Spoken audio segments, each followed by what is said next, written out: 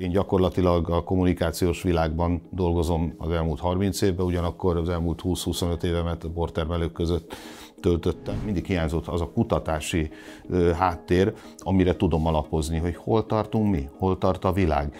És az elmúlt időszakot azzal töltöttük, hogy ilyen tanulmányokat együtt próbáltunk értelmezni. Van több, száz, több mint 200 eredetvédett termékünk a magyar borpalettán, de nincs olyan, hogy magyar bor. Olyan van, hogy furmint, olyan van, hogy kékfrankos, és meg kell határoznunk. És azokat a trendeket, azokból összeállítva meg kell találni. A magyar bormarketing stratégiának van egy akcióterve 2024. december végéig, a következő másfél évre, amit viszont a termelők egy regisztrációs rendszerrel, internetes felületen elérhetnek.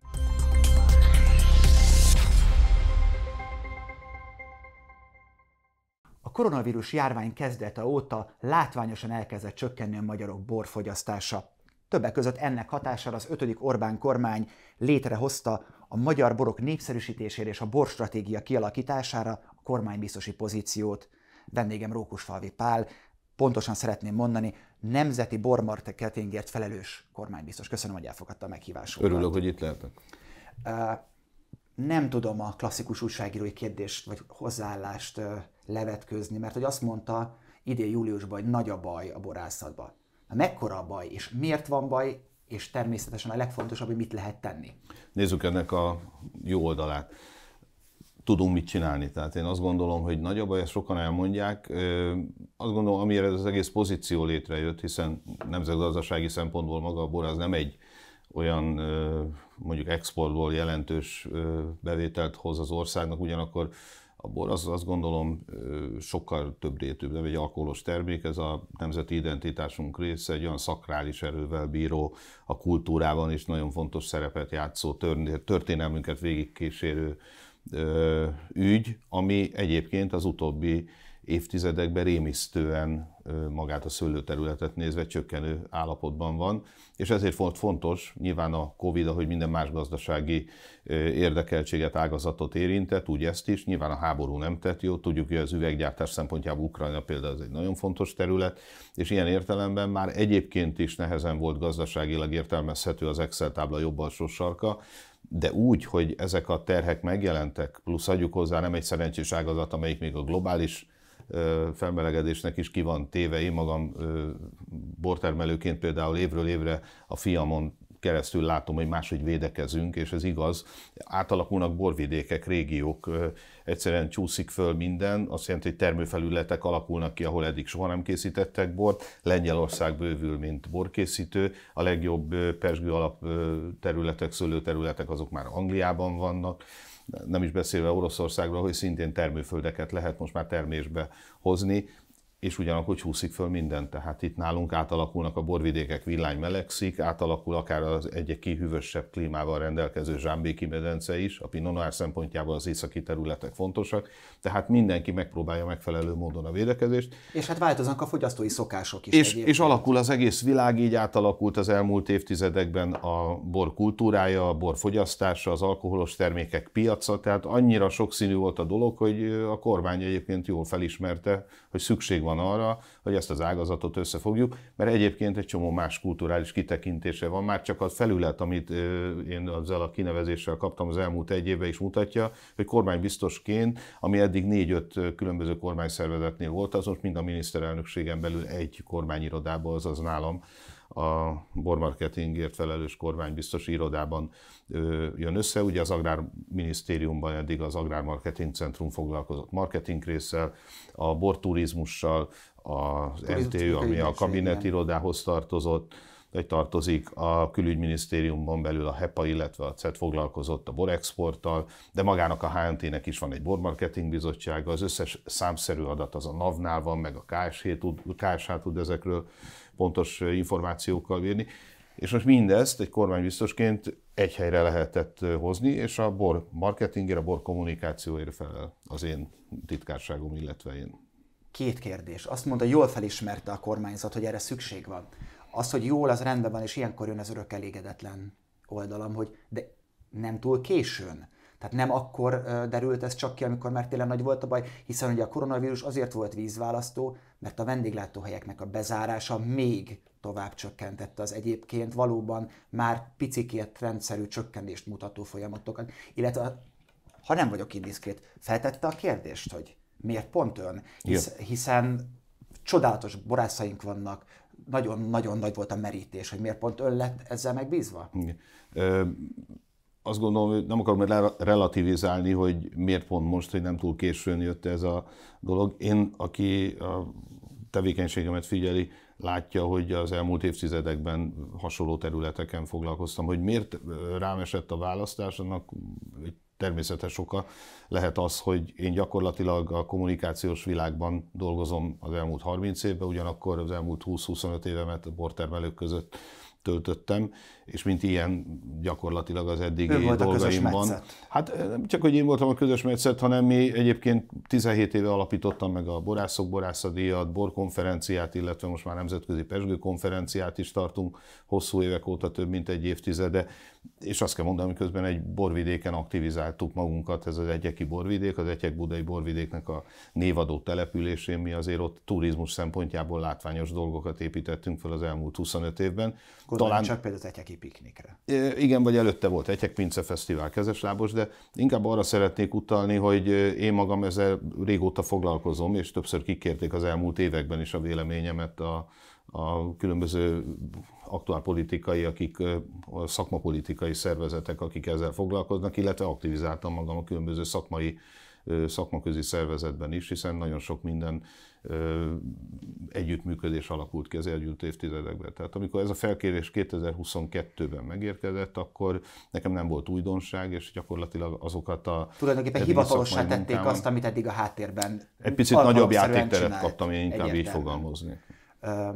Beszéljünk a borstratégiáról, a hosszú távú borstratégiáról, hiszen a, a mindig aktualizált vagy aktualizálható marketing vagy probléma felvetéseknek a megoldása mellett ez a legfontosabb, hiszen az, hogy baj van, az érzékelhető, az, hogy csökkennek a termőterületek, az érzékelhető, hogy csökken a fogyasztás érzékelhető, de ezt hosszú távon lehet csak nagy valószínűséggel kezelni. Mit tartalmaz ez a hosszú távú borstratégia? Illetve hogyan állt össze, ez nekem nagyon fontos, mert ugye a szakmai egyeztetéseket, a szakmával való egyeztetést, azt nagyon fontosnak tartotta, ezt több helyen is elmondta. Az előző vendégem, aki a hegyközségek nemzeti tanácsától érkezett, Frickman János, azt mondta, hogy ő nem tudja, mi van ebben, mert hogy még nem olvasta, biztos el kéne olvasni, de őt a kutya nem kérdezte meg, és azt mondta, hogy hát ezzel sokan vannak így az elnökségben. Nem tudom, hogy őket kellette volna megkérdezni, vagy mi alapján működött a szakmai egyeztetés. Igen. Az első kérdés részletre, hogy ez az egész hogy indult el. Én próbáltam az elmúlt húsz évemből azokat a tapasztalatokat föleleveníteni, amiket találkoztam. Én azt vettem észre, hogy bármilyen stratégiát összeraktak az elmúlt évtizedekben, azok általában egy vízióból, majd azokra épülő hipotézisekből épült fel, és utána rögtön az operatív program jött. A kettő között nekem mindig hiányzott az a kutatási háttér, amire tudom alapozni, hogy hol tartunk mi, hol tart a világ. És az elmúlt időszakot azzal töltöttük, hogy ilyen tanulmányokat együtt próbáltunk értelmezni, nemzetközi cégeket vontunk be a stratégiába, külföldi egyetemekkel dolgoztunk együtt, és azért furcsa, amit a HNT-vel kapcsolatban, bár az is igaz, hogy a HNT-ben volt egy váltás közben, hiszen magában... Légli Otto volt igen, magában, meg, a Brazil, is. meg a szakmai részt az Brazil Dávid a fő titkár viszi, és azt tudni kell, hogy mi közös kutatásokat, illetve a HNT-re épülő kutatásokat is használtuk ebbe a stratégiába, tehát az együttműködés az folyamatos, de mivel én ahogy említettem, szakmai konferenciákat csinálok, készítek, ezért nekünk voltak már olyan meglévő külföldi kapcsolataink, akár a Geisenheim Egyetemmel való együttműködésre gondolok, vagy online marketingben előadónk Paul Mebré Kaliforniából, és nagyon sok olyan külföldi szakembernek is a, a segítségét kértük, és az adatait, és a primér, szekunder kutatásokba ezeket összegeztük. Ez történt az elmúlt egy évnek körülbelül a felében. Tehát mondhatom, hogy egy fél éves olyan munkát végeztünk, ami egy 600 oldalas anyagban összegződött.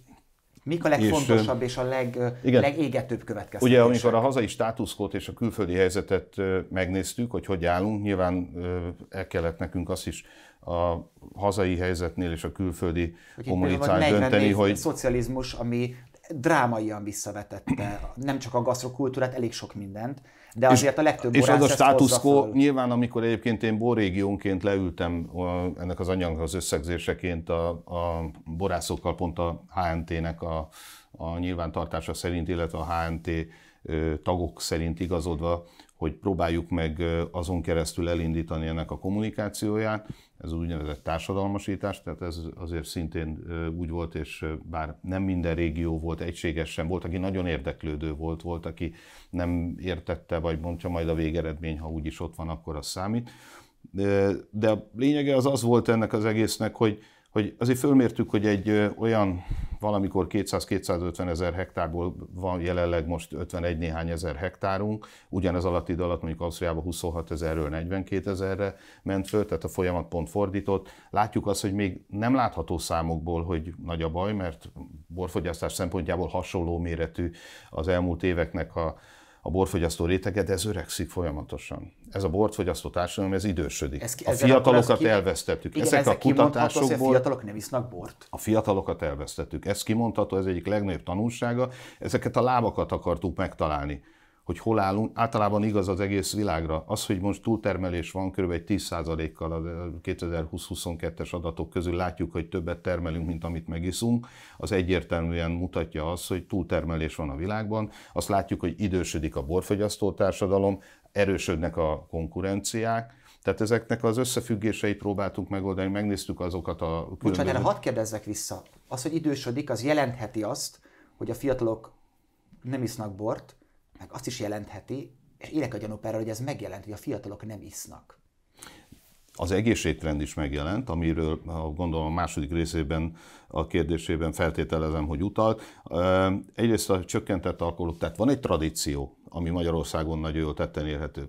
A többi alkoholos termékben az innováció erre rá tudott épülni már. Ilyen értelemben a sörösök, vagy akár a, a töményitalok sokkal jobban előre mozdultak az elmúlt évtizedekben. Ilyen szempontból egy picit ott maradt a magyar borász társadalom abban a kicsit nem volt bealudt, innováció, kicsit nem bealudt, volt frissítés? Hát Mert elmondom, én mit értek, amikor elmegyünk mondjuk igen. Düsseldorfba, megnézzük a Provine-t, és látjuk azt, hogy ma kb. 200 alkoholmentes bor van már, amit Magyarországon amit ma három is ihatatlan. És egyetlen egyet nem itt készítenek, hanem mondjuk a törleiről beszélünk, akkor azt Németországból hozzák ide, és hogyha nem megy, akkor vissza is viszik. De itt nem is ez a baj, ezzel foglalkozni kell. Tehát az, hogy az alkohol csökkentett trend az tetten érhető, és ez azt igazolja, hogy a mai fiatalok nem isznak olyan, a- tehát a csökkent alkohol iránt van elsősorban érdeklődés. Amíg ez a, például a- az alkoholmentes sör megjelent az elmúlt évtizedekben, 300 féle változatban és ízben. viccesen néztünk mi is még 5-8 évvel ezelőtt, hogy ez mi. Jézusom, igen. 7%-a ma ennek a piacnak alkoholmentes sör. 5 év múlva ugyanekkor a százalékban minimum a boros piacon ez a termék, ez tetten érhető lesz, és ott lesz a csökkentett alkohol, ez egy trend, világtrend.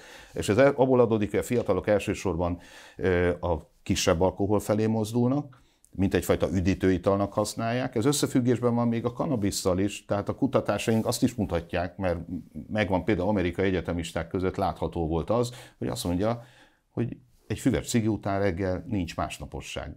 Míg egy pohár bor után esetleg másnapos lesz az ember, vagy az alkohol. Hát egy pohár bor után valószínűleg nem. Na, de hogy ezzel, ez, és, és ez egyébként körbevesz minket szerencsére még nem közvetlenül, de az összes ilyen ö, trend hatás, látszik. a trend az értékelhető, az érzékelhető, és ilyen értelemben ezekre föl kell készülni. A kutatóintézeteknek már rég arról kéne, azzal kéne foglalkoznia, amivel egyébként most mi elkezdtünk párbeszédeket borászok és kutatóintézetek között, hogy megpróbáljuk ezt is. Ugye nekem ez a szerencsém, hogy a, a bormarketing kapcsán nem tudok csak a borra koncentrálni, de lehetőségem van a különböző kormányzati szervekkel együtt menni, és ilyen értelemben lehetőségem van a termékkel foglalkozni. Tehát ebből az egészből azt akartam kihozni, és a 600 oldalnak az egyik legfontosabb megállapítása, hogy nincs olyan, hogy termék.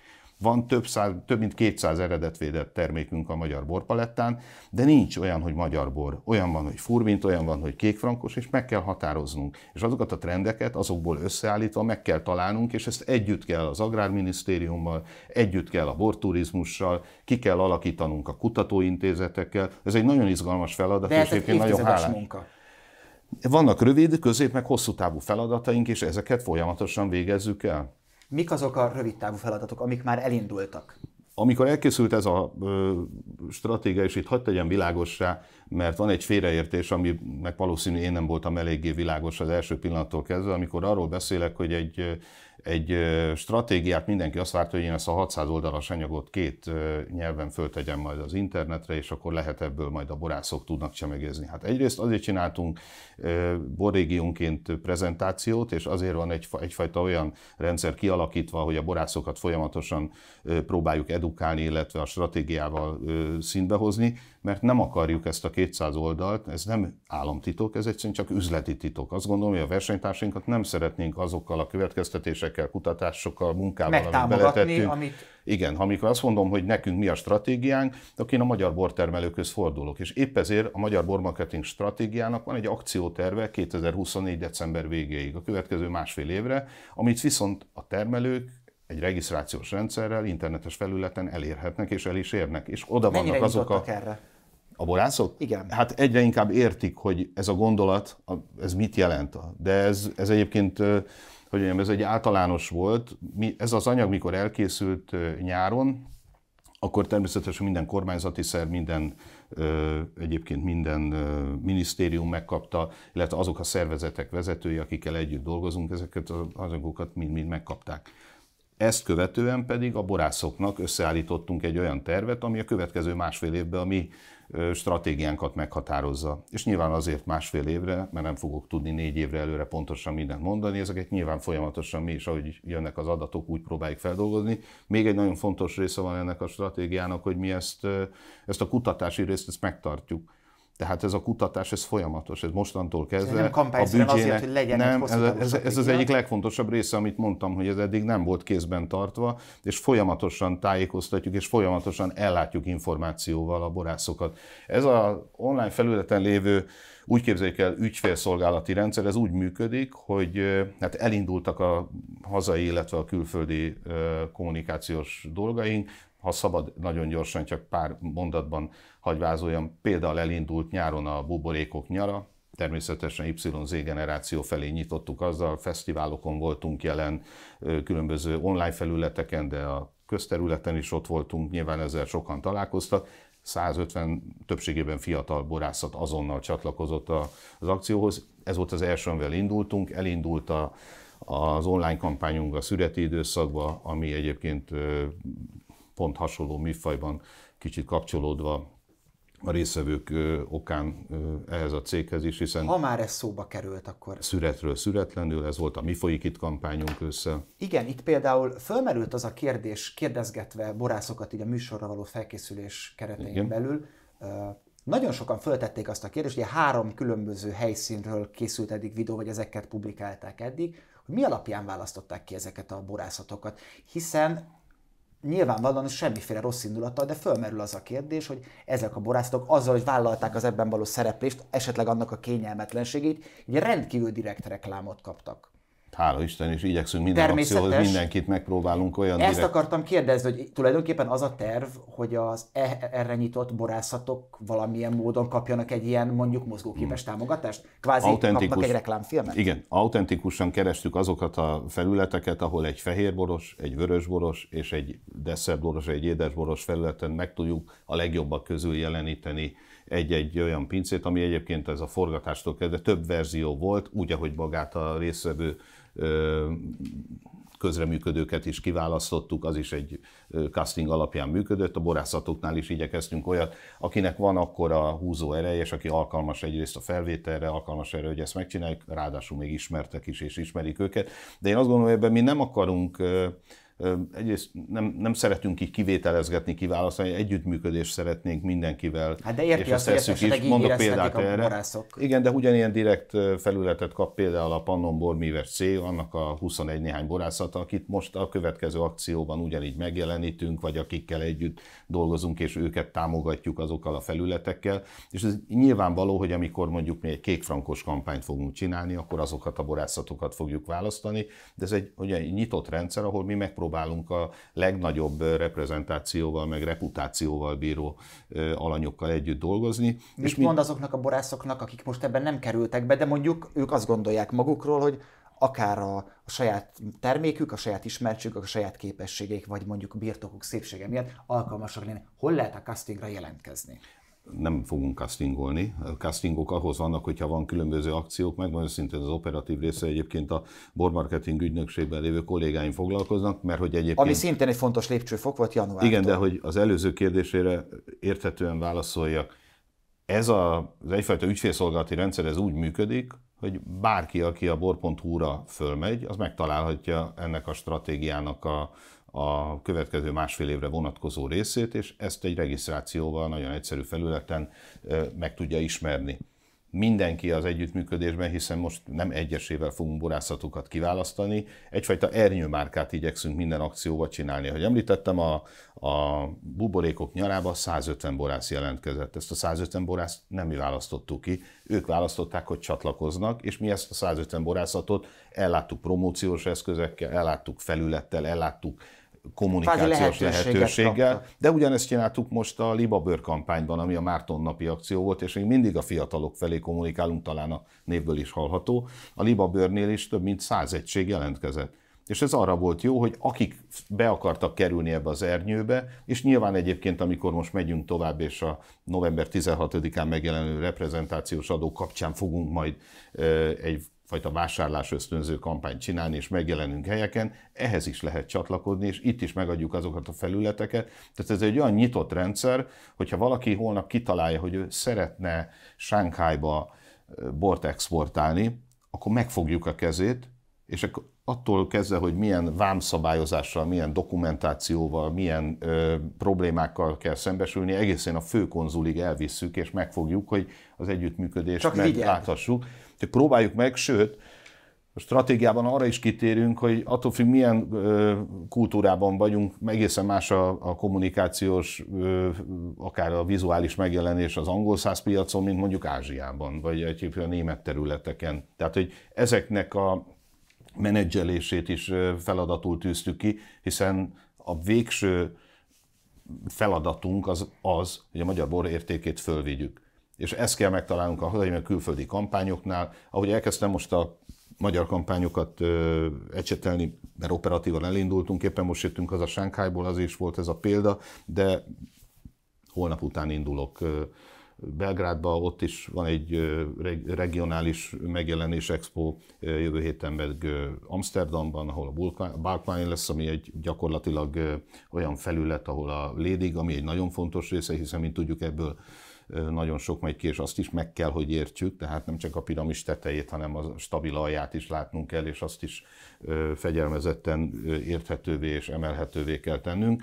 De a következő időszakban közben párhuzamosan Londonban volt most megjelenésünk, és még van a világban tök, több olyan esemény, amihez kisebb-nagyobb módon csatlakozunk, ezeket egy koncepciós stratégia alapján vesszük föl, és ahogy jeleztem, ez föl van építve a következő másfél évre, tehát ezt a borászok tudhatják ehhez időt kell adnunk nekünk is. Ez egy teljesen új rendszer. Tehát ez az ügynökség is úgy jött létre, hogy a feladatot megkapta a kormánybiztos. Én arra is egyébként egy olyan konstrukció alapján állítottam külföldi példákat átgondolva, átnézve, hogy egy pici mozgalmas operatív egységet raktunk össze, amelyet a, a, egy állami ügynökséget, és ez az ügynökség megfelelő módon próbálja az előbb elmondott feladatokat belföldön, meg külföldön borkommunikációval, jó szakemberekkel, fiatalokkal ellátni, és az eredménynek jönnie kell. Hát ez a feladat van, amíg gyorsan jönnek, sikerülnek, de nyilván van egy csomó olyan terület, ahol nekünk szükségünk van a külgazdasági minisztériumban egy nagyon sok helyen, és ők ilyen szempontból nagyon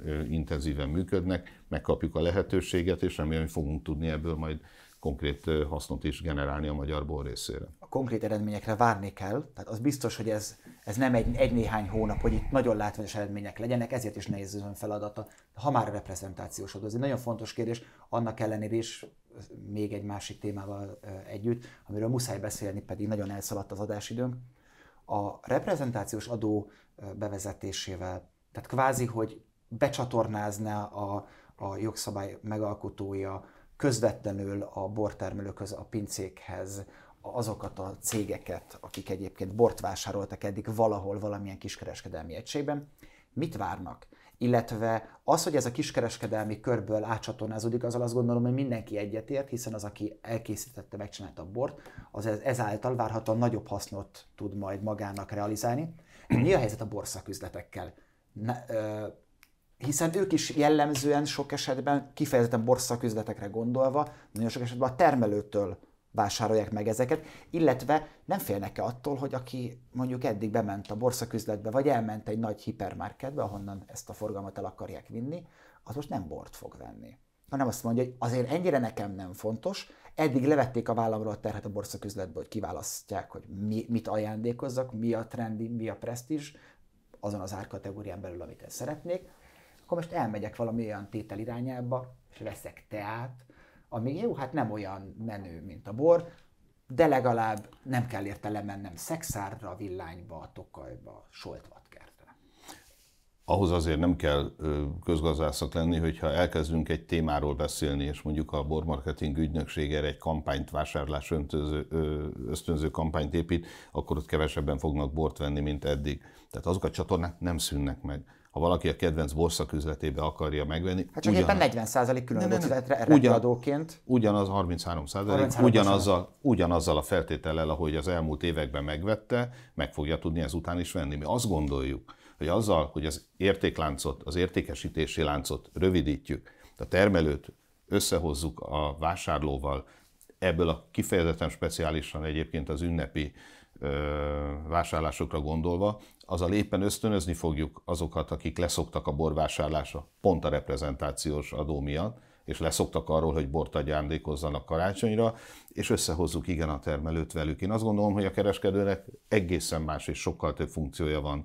Aki az ember hétvégén lemegy a, a boltba, az meg fogja venni, eddig is megvette, ezután is meg fogja venni persze. a jól bejáratott üzletében, és ott fogja vásárolni. Kifejezetten a cégeknél karácsonyi, illetve ünnepi napra azt reméljük, hogy aki eddig olyan ajándékcsomagot adott, aminek nem volt része a bor, és most felhívjuk a figyelmét, hogy szeretnél, és nem akarok direkt termelőket mondani, ilyen vörösbort vagy ilyen prémium minőségű pesgőt vásárolni, akkor a kedvencettől, és ezek egyébként ismert népszerű borászatok, hát akik úgy, professzionálisan de, felkészülnek. nem lehetett volna kiterjeszteni, hiszen azzal a termelő is jól jár. Nem, nem jár jól a termelő. A termelő azzal jár jól, és ez elsősorban a termelők megmentése, és pont azért a nehéz helyzet miatt, amiről egyébként csak így áttételesen beszéltünk, tudjuk jól a betétdíjas rendszer, tudjuk jól, hogy egy csomó olyan Európai Uniós szabályozás kezdődött, és ez még tart a következő években, ami szűkíti a mi piacunkat. Ez is a stratégiának az egyik legfontosabb konklúziója, hogy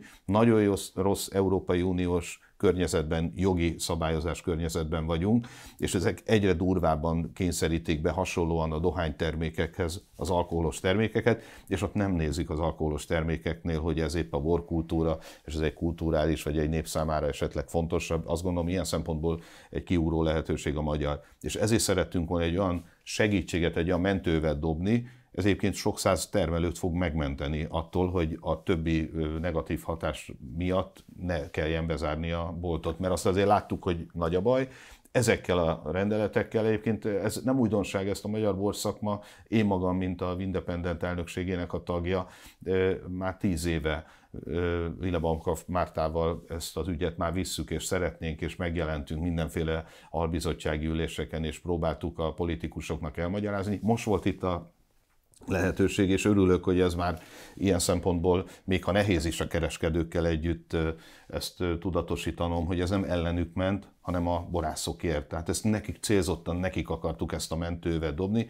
Ez nem fogja elvinni a kereskedőknek az egyéb feladatait, mert a kereskedőknek számos olyan feladata van. Még de egyszer hát mondom, ez a cégeket... fog jelentkezni, mondjuk egy borszaküzletnél, akik ezzel foglalkozott. Reményeink szerint sokkal több bort fognak vásárolni, és ez még akár generálhat a borszaküzletek részére is majd a jövőben egy a bormarketing, hogy, hogy ne felejtjük el, hogy egy viszonylag jelentős összeggel elkezdtük a borkommunikációt 2023-ba, és azzal a reménnyel kezdtük, hogy ezekkel a döntésekkel, ezekkel a dolgokkal föl tudjuk emelni a boros szakmát, életben tudjuk tartani, és ezt az ágazatot, ami közös érdeke a kereskedőknek is, főleg az értékét is fölvisszük, akkor a kereskedőknek is jobb lesz. Egyébként volt olyan kereskedő, aki nagyon nem örült ennek a döntésemnek. Én azt gondolom, és a, a következő, döntő többsége nem Igen, és a következő akcióval, amikor viszont együttműködésre hívtuk őket, nem is nagyon tudták érteni, hogy miért akarunk együttműködni, hiszen akkor mi nem vagyunk el egymással szemben mégse. Hát pontosan ez az egésznek az értelme, hogy nekünk nagyon fontos minden részvevő, aki a borpiacon van, de az én feladatom az, hogy a borászokat megpróbáljuk életben tartani, illetve a boros szakmát megpróbáljuk újra föllendíteni. Ha már az életben tartás. Most jól értem, hogy úgy fogalmazott, hogy többek között ez a repiadó mentesség, amit most a, a borászok megkapnak, ez tulajdonképpen egy mentőv. Tehát például a most jel, megjelentkező betédi és egyéb gazdasági nehézségek kompenzálásra Igen. szolgálhat. Friedman János ezzel szemben azt mondta az előző adásban, hogyha a most bevezetendő új betétdíjas rendszer megvalósul, akkor itt semmi nem menti meg, sem a családi borászatokat, sem a közepes borászokat, de nagyon komoly válságszintű problémákat okoz az egész ágazatban. Illetve ugye ők azt mondják, hogy folyamatosan tárgyalnak, és próbálják ezeket a szabályokat a keretrendszeren belül puhítani. Ha ön azt mondja, hogy az a feladat, hogy megmentse a borászati ágazatot, önnek ebben a kontextusban hol van a szerepe? Igen, azért nem szeretnék egy Superman vagy egy Amerika kapitánya szerepbe tündökölni. Nekem az a feladatom, hogy a bor kommunikációt azt próbáljam minél magasabb szintre, ezzel pedig a magyar bor értékét fölemelni. Ahogy ezt említettem, és nem akarom így elbagatelizálni egy 6,5 hektáros birtok tulajdonosaként én sem a helyzetet. Nálam az a szerencsés helyzet, hogy a fiam viszi a, magát a birtokot, ugye ez az ő fejét, ő akargatja a fejét, nagyon nehéz, nagyon nehéz a helyzet, ezzel teljesen egyetértek. Ebben a helyzetben főleg az a legnehezebb, hogy nem ismerjük még minden részét. De Egy bocsánat, többit mer- ismeretlen... Ha nagyon nehéz a helyzet, Igen? és és önnek az a feladat, hogy a bormarketinget Igen. építse, a borstratégiát kialakítsa. Tehát nem az volna az elemi érdeke önnek is, nem hivatalosan, nem mint a kormánybiztosi feladatokat ellátó, egyébként borászattal foglalkozó szakember, hogy megmaradjanak azok a cégek, akik utána marketinget hát kell csinálni. Hát a, a, akkor ilyenkor hol, hol de van hogy, az... De, de félreértés ne Nem az van, hogy van egy csúnya kormány, aki rosszat akar a borászoknak. Én nem is erről beszéltem. Ez, a, ez egyébként, csak hogy az egésznek próbáljuk egy, egy lépésre még hátrébről nézni az egészet, hogy mi miatt van ez az egész egy európai, egy európai, egy európai döntés miatt, de döntés. mégis azt mondják, hogy lehet, van játék De nem ismerjük a játék, de mindenki a, a másik kártyájából próbál dolgozni, nem ismerjük minden részét. Tehát valóban született még az én regnálásom előtt például egy olyan koncesziós szerződés, amiről nem tudom, hogy pontosan milyen részletekkel, minden részletét még nem ismeri Fritman János se, meg a többiek se, én magam is egyébként azon lobbizom, és a kormányon belül próbálom azt a részét. A azt a részét, hát hogyne, hát, hát borászokkal vagyunk, de maga a kormány is igyekszik az ujjai közül megnézni, hogy melyikbe harapjon bele. Mert és ez nagyon nehéz... nem volt szakmai konzultáció, és a szakma ellen, a uh-huh. szakma sajátosságait figyelemben nem véve hoztak egy szabályt ami egyébként sokkal rugalmasabb annál, mint amilyen módon Ezt, egy kalap alá vettek mindenféle betétdíjas terméket. Igen, miután, miután itt egy, egy jó idővel ezelőtt, évekkel, egy-két évvel ezelőtti döntésről van szó, ahol egyébként szintén, mint szakmaközi szervezet, ott volt a, a HNT is, hogy ebben mennyire és kinek milyen feladata van visszamenőleg, nagyon nehéz nekem most tisztán látni. Én magam sosem foglalkoztam ezzel a részével, mint mondtam, elsősorban én nekem a kommunikáció, a marketing a feladatom, de ezzel együtt tettem olyan javaslatokat a kormányzatban is, amivel megpróbáltuk, hogy a kicsiket, elsősorban a kicsiket védjük. Ugye azt tudni kell, hogy itt minél kisebbek vagyunk, és itt a mérethatékonysággal van a legnagyobb probléma, hogy az egyik legnagyobb szintén a kutatásból és a stratégiában szereplő dolgot mondok most. Magyarországon a borászatok 83%-a 3 hektár alatti. Ez, ez borza, ez, ez nagyon, nagyon rossz szám. Ez azt és jelenti, ilyen... hogy tulajdonképpen 83%-a a magyar, magyar Nem lehet hatékonyan, de gondoljunk azt, hogy egy csilei 5000 a... hektáros birtokkal megy nem szembe, a mi 6,5 hektáros birtokunk úgy, hogy egy olyan kultúrából jövünk, ahol a szövetkezet szitokszónak számít. Mert régen azt jelentette, hogy ha mi most leülünk, tehát Ausztriában leülnek a falubeliek, és azt mondják, hogy egy palackozó kamiont rakjunk össze, és mindenki berakja Itt a pénzét. mindenki a TSZ Mindenki megveszi a 40 éves magának a való nagyon rossz minőségű palackozót, és de az enyém és a sajátom, mert így szocializálódtunk, mert a szövetkezet az azt jelenti, hogy valaki el akarja lopni. Ezen túl kell lenni, közösségi munkának lenni kell. Ezt fel kell ismerni. Ez is az egyik feladatom, hogy megpróbáljuk olyan támogatási rendszert, olyan környezetet kialakítani, hogy felismerjék a különböző borász közösségek, hogy együtt, együtt kell dolgozni, mennek. és ilyenek ilyenek miatt fontos az, hogy a kicsi nem tud hatékonyan dolgozni. Tehát ez ilyen szempontból egy nehéz teher nekünk, és nehéz a, a kigazdálkodni egy ilyen gazdaságnak, akár a különböző egyébként a fenntarthatóság szempontjából fontos kérdéseket, mert az Európai Uniós mm, politika ellenére azt tudni kell, hogy az összes ilyen, ami vonatkozó szabály, az mind-mind azt az innovációt, azt a csomagolás technikát próbálja erősíteni, amitől a világot próbálja most megmenteni magától az ember. Tehát az a nagy helyzet, hogy egy csomó olyan ezért, volt, el, el tudok, ezért, nagyon, mert, hát olyan csomagolás technikák vannak ma már a világban, amiket mi még Magyarországon nem, hogy nem használunk, de nem is ismerünk. És ez is a feladatok közé, ez is oda tartozik, ezek el, előre kell lépnünk, és ezekben szintén tudnánk olyan ö, megoldásokat találni, ami sokkal kevésbé terheli a környezetet. Egy nagyon komoly kutatásunk van arról, hogy ezt a világnak azon a részén, ahol használják, milyen szempontból és hogy építették föl, és hogy miért működik sokkal jobban, és miért működik egyébként az fiatalok számára szimpatikusabban. Tehát amikor a fiatalok elvesztéséről beszélünk, akkor arról is beszélünk, hogy a kezébe fog egy olyan konkurens alkoholos terméket, ami egy mondjuk egy három decis alupalacban van, és sokkal jobban tetszik neki. De létezik ma már olyan, ami egyébként különböző borkoktélok formájában számunkra hihetetlen. A világ repülőterein mész, és nem tudjuk, hogy bor van a kezünkbe.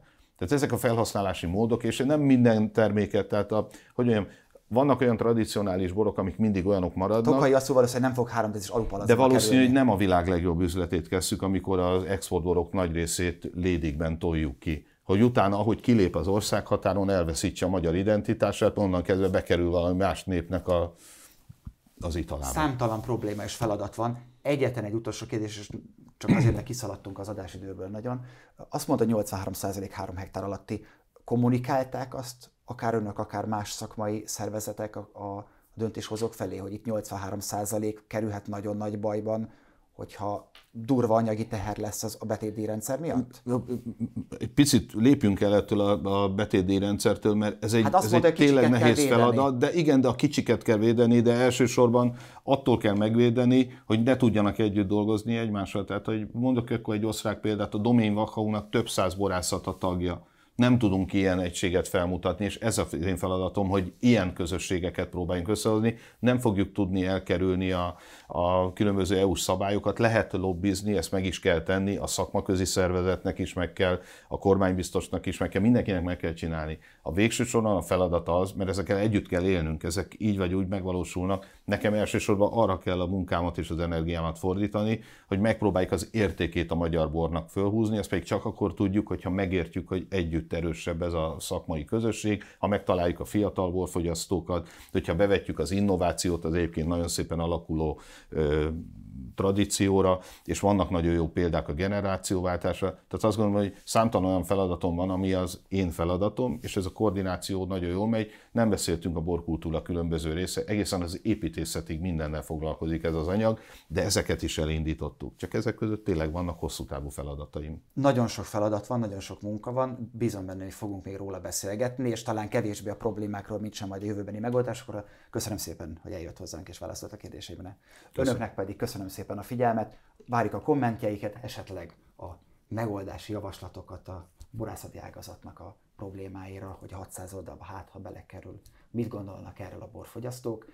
Tehát várjuk a kommenteket, viszontlátásra!